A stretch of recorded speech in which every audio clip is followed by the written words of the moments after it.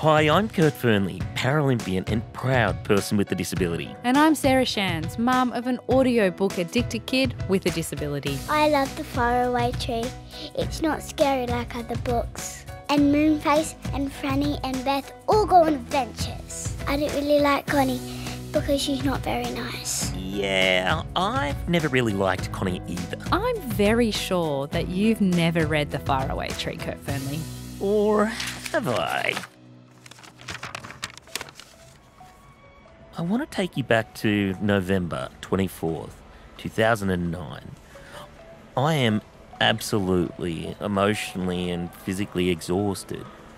All I want to do is collapse into my bed and sleep for the next week. I've just spent the last 11 long days in brutal conditions crawling the Kokoda track with all of my family, and I'm nearly home. One more flight from Brisbane, and I'm there. It's done.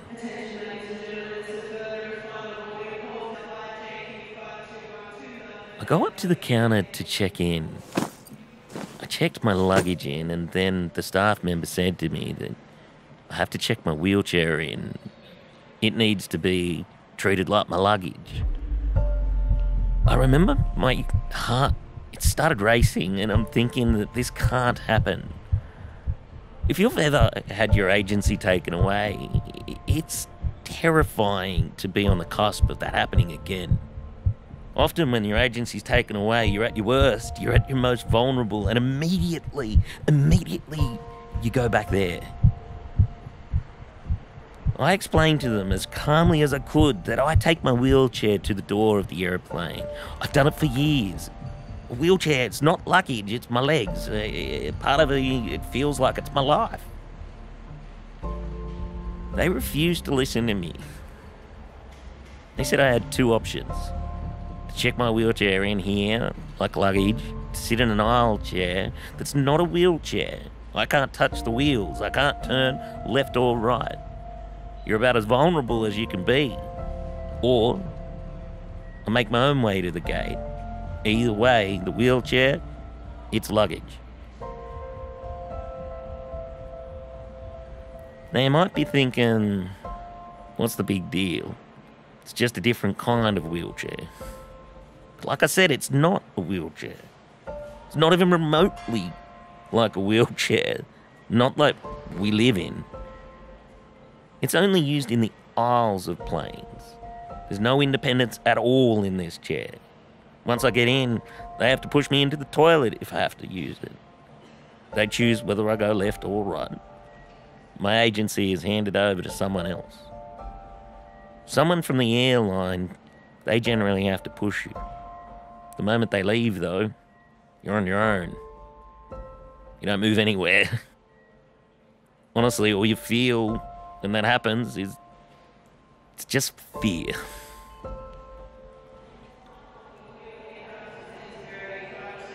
So I realised at that moment that I was never going to hop into one of those chairs. I climbed out of my wheelchair and they took it away. I thought if I crawl away from the check in, that they'll change their mind, right? I thought if I crawl through security, then somebody will see and they'll they'll change their mind again. They'll understand that that wheelchair it's not luggage. I thought if I crawl to the gate, someone's going to turn up and they're going to go, "Oh, we're sorry about the mistake." I thought if I crawl to this bathroom because I needed to go to the toilet, if I do this, then maybe no one will have to do it again. But no one did turn up. And I crawled onto the plane. But I felt like crawling through that airport, there was more me than giving up every part of my independence that has been demanded in me since I was a kid. I still get anxious every time that I fly that this might happen again. Every time I go to fly, I feel like I'm in that exact spot. And the only thing that you feel is fear. Can you believe that this happened 13 years ago, Kurt? To really understand the barriers people with disability face when flying, you have to start from the beginning when you book a flight. because the entire system from the very beginning makes flying really difficult. Each airline has a different set of rules you have to navigate if you're a person with a disability and you want to fly. If you use a motorised wheelchair, some require you to get a dangerous goods certificate while others don't. And after the court case King versus Jetstar back in 2012, Jetstar limits the number of people who need wheelchair assistance on domestic flights to just two. Carney Liddell was recently told she couldn't fly because of this policy. The reason I was ringing the night before and at 4am that morning of my flight to Proserpine was because Jetstar have a policy of only allowing two people per plane who need assistance. We started talking about the wheelchair, and as soon as that happens, I know something is about to go awry. So from there, after an hour, she said to me, You can fly, ma'am, but your wheelchair can't. I said to her, What that'd be like you taking your legs off, which doesn't really it doesn't get them on the same level as you because obviously they can't take their legs off, so they don't actually really get it. There's not, nothing I can really say to them that makes them understand. Anyway, so she said it again, and then when I said about taking her legs off, she told me I was being rude and that she was going to hang up on me pretty much. This two wheelchair rule is the worst. I was taking my family on a holiday to the Gold Coast when I got a call. Mr. Fearnley, you can't travel with your family on the flight. There are already two wheelchair users on this flight. You'll have to catch another one. And it's in that moment that you realise once again the airline doesn't value you. And my kids see that the airline sees me as less. I'm expendable. I can be kicked off one flight and put on another because of who I am and that hurts. There are thousands of stories that are similar to what you and Carney have experienced that we'll never hear. And we invited Jetstar to be interviewed for the podcast, but they declined and provided us with a statement saying Jetstar's top priority is providing safe, comfortable, and affordable travel experience to all our customers, including those requiring specific assistance. We provide wheelchair assistance for up to two customers on each domestic flight. The full statement can be found on our website. Airlines and airports have made flying so difficult that people with disability often prefer to take long car trips.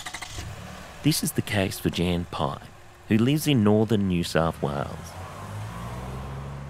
She has muscular dystrophy and has recently started to use a wheelchair.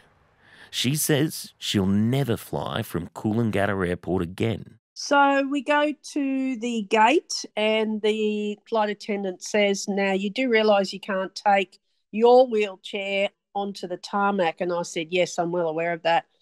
And she turns and she points to this wheelchair and says, Well, this is the wheelchair that you need to get into.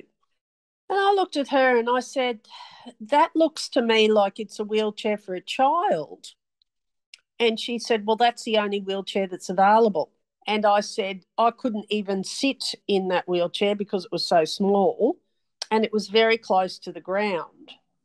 And she said, Well, that's the only wheelchair that we've got available, and you can't take your wheelchair onto the tarmac. With the help of her husband and a walking stick, Jan is able to walk short distances and knew that if she wanted to get on that flight to Sydney, she'd need to walk to the aeroplane. So you had to walk to the left up this ramp and then to the right and then to the left.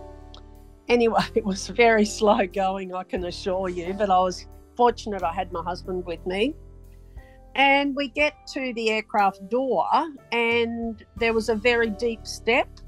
There was nothing in place that I could use to help me into the aircraft. So the flight attendant had to bend down, and my husband had to push me from behind to get me into the aircraft. So by this stage, I'm feeling extremely, and I repeat that, extremely demoralized, demeaned. I felt that I was offered no respect because there was nothing in place to cater for my disability. And, you know, as I explained to the flight attendant, what if I didn't have any legs? How was I supposed to get onto the flight? So we walked to our seat and I sat in the seat and I turned to my husband. And by this stage, I'll be honest, I was nearly in tears. And I said to him, We are never flying out of this airport again. I said, I'm not going through this experience again. We approached Gold Coast Airport, but they didn't respond to our request for a comment. Graeme Innes is a lawyer and former Disability Discrimination Commissioner. He uses a guide dog and was recently flying from Adelaide Airport home when he was treated appallingly by security staff. So I turned up at the security and I happened to be with a colleague and he said, Oh, there's a lot of switchbacks that you have to go through. And I know your dog doesn't operate well in those because she doesn't look above her head, so she doesn't see the strips between the poles and she just wants to walk straight through them. Why don't we take the faster lane, the priority lane? That happened to be a body scanner. The security guard came and stood in front of me, between me and the body scanner, and said, You can't come through this lane. And I said, What's the problem? And he said, You can't use the body scanner. And I sort of said, Well, how do you know I can't use it? I use them all the time not in Adelaide, he said. You don't use them in Adelaide. That's against our regulations. So my colleague and I talked with him for a while, and at one point the guard actually turned around and walked away. Now, that's a pretty insulting thing to do to a person who can't see. Graeme, like most people, wanted to get through security without being patted down and had taken all the necessary precautions to ensure he wouldn't trigger the body scanner. We decided that we didn't want to have an argument, so we decided to go through a different lane, which was a um, walk-through process rather than a body scanner. So we went to the walk-through scanner, and again, I started to go through, and the same guard, I think, said, "Oh, you can't come through here with your dog. Uh, you'll have to be patted down." And I said, no, no, that's okay. I can uh, sit my dog. She will sit here. I'll go through. I know because I've taken all the necessary precautions that one needs to at airports that I will not trigger the scanner. Then I won't have to be patted down. And the only um, patting down will be for the guide dog. And she loves it anyway. So um, it's not a problem. It's all sorted. This is how I do this regularly. I, I fly regularly. And he said, You can't come through here. And Finally, I convinced him that I could come through, and I did exactly as I said. Um, I didn't trigger the scanner, the dog did, and then he said, Well, you have to be patted down. That's the regulations. I said, I've just been through all this process to avoid being patted down. We approached Adelaide Airport for comment. They didn't respond to our request for an interview, but provided a statement. This statement is available on our website and essentially says that Adelaide Airport has apologised to Mr Innes for his poor experience and they are reviewing their processes for screening people with assistance animals. Graeme has lodged a complaint with the Disability Discrimination Commission, but it will be 12 months before the case is even looked at, and who knows how long it will take to get an outcome. I think it's fair to say that if you're a person with a disability, flying can be an extreme sport.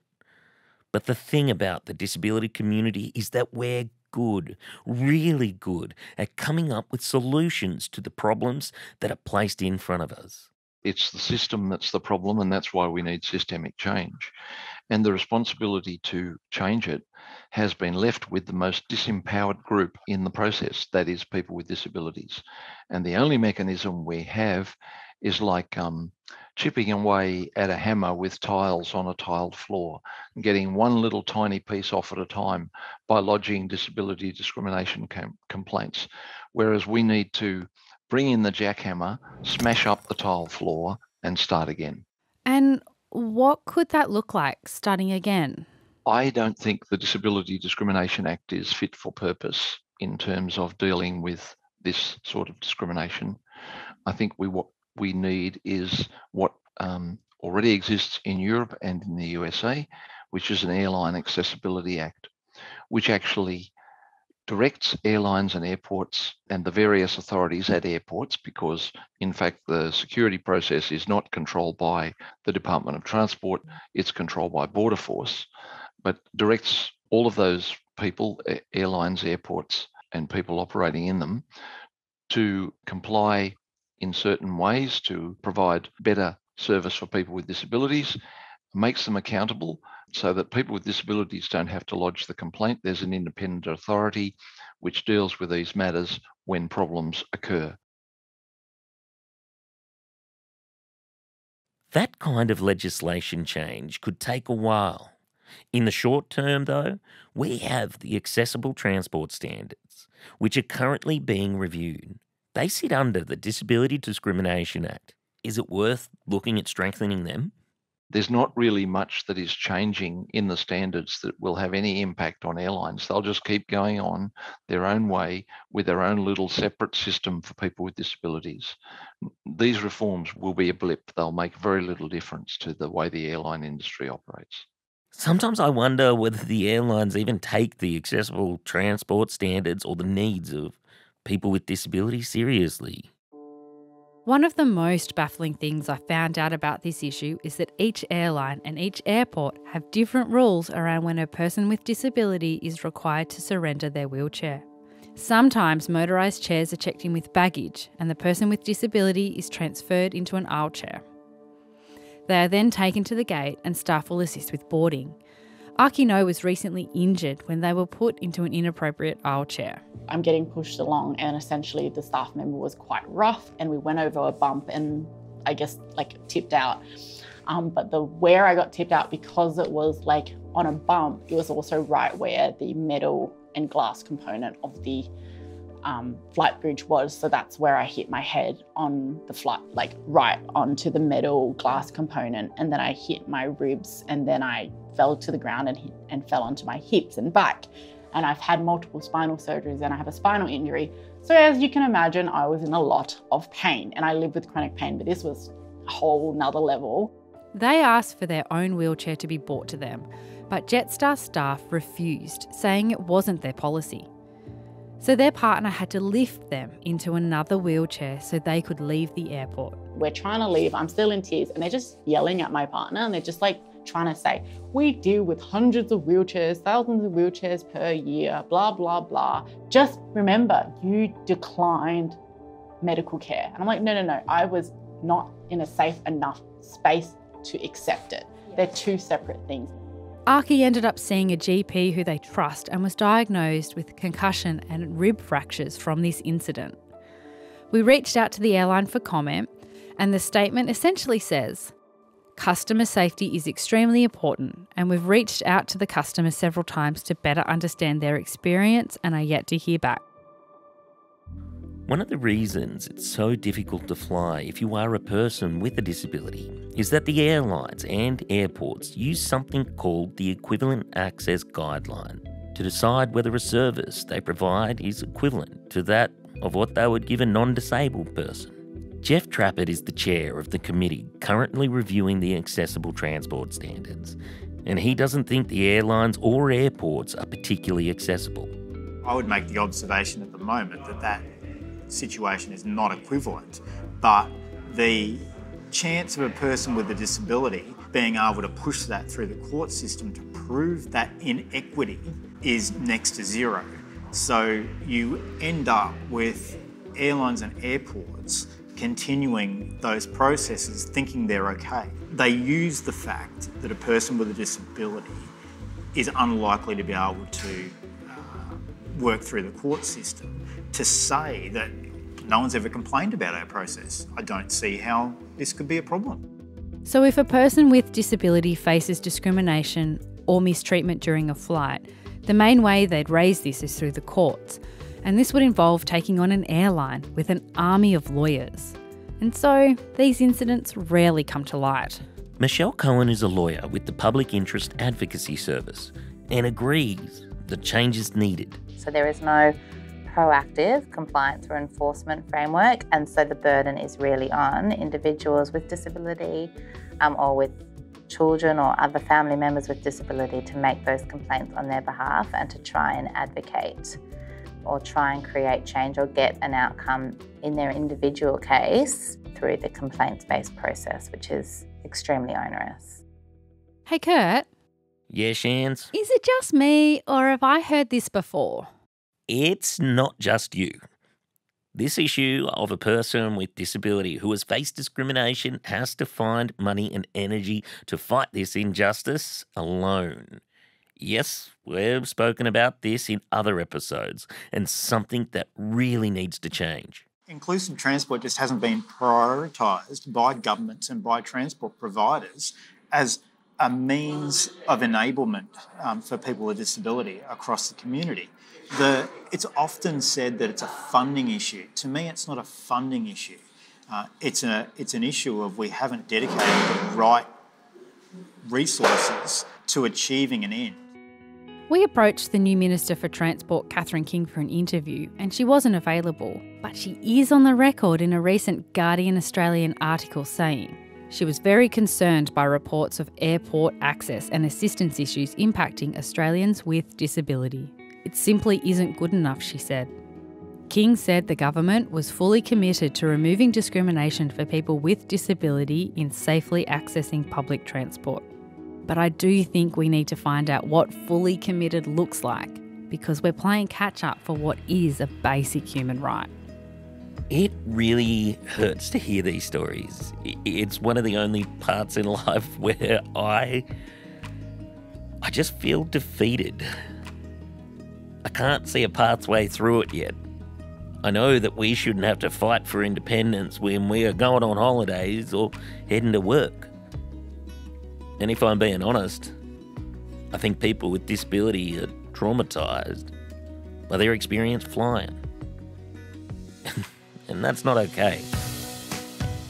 For more Auslan versions of the podcast series Let Us In, subscribe to the ABC Australia YouTube channel.